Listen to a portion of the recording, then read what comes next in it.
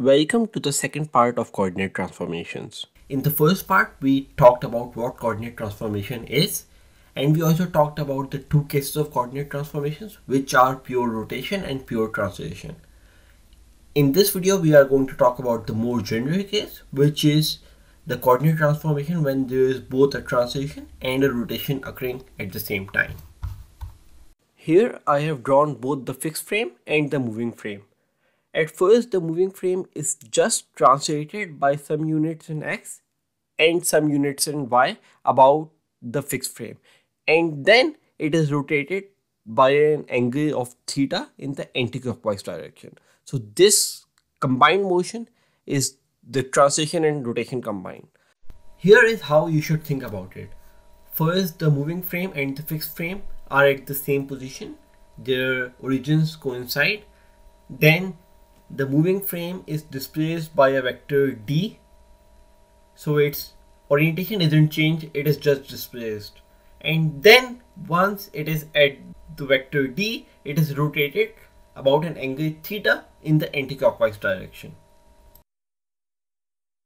Now, if I know a point in the moving frame, how do I express the same point in the fixed frame?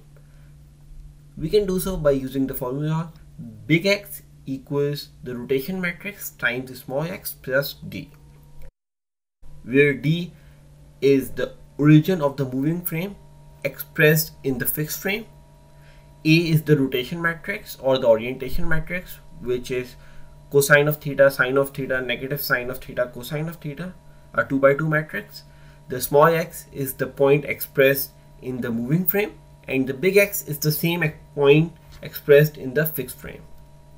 You should see this as the moving frame first being displaced by a vector d and then it is rotated by an angle theta in the anticlockwise direction which is represented by the rotation matrix A. Now let's talk about the two special cases of this. The first is when there is no displacement. So the d vector is 0 in x and 0 in y. So putting this into the equation, we get x equals a times small x, which is the same thing that we got for the case of pure rotation. And the second case is when there is no rotation, so the angle theta is 0 when I put 0 in the rotation matrix I get an identity matrix. And as we know anything multiplied by the identity matrix is going to give me the same matrix so when I multiply the identity matrix by the small x I get small x so hence I get the equation big X equals small x plus d which is the same equation that we got for pure translation. Now let's solidify our understanding of this with the help of an example.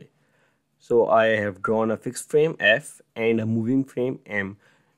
Notice that the moving frame's x-axis is vertically pointing upwards and the y-axis is pointing towards the left. And the d vector is the displacement vector which is the displacement of the origin of the moving frame with respect to the fixed frame.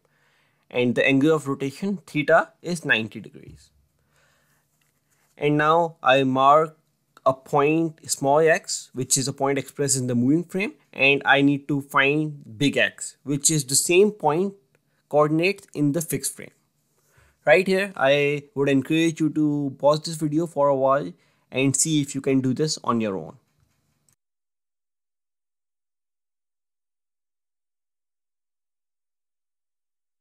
By using the formula big X equals ax plus d with theta as 90 degrees, small x as 1, 1 and the displacement vector as 2 and 3, I get 1 and 4.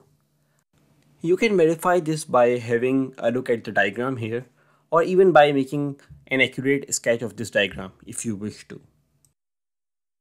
This brings us to the end of the second part of coordinate transformation video. If you found this video useful, do subscribe and as always see you in the next part